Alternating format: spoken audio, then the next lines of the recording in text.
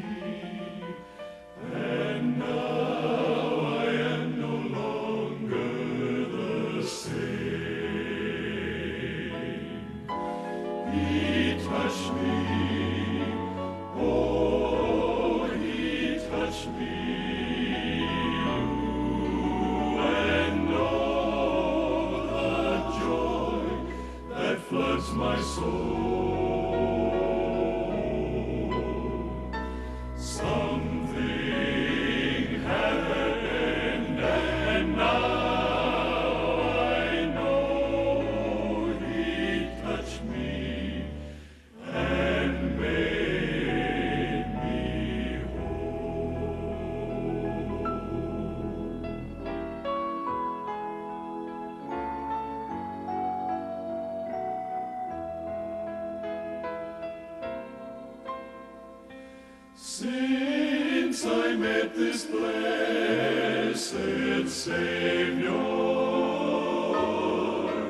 and since he cleansed and made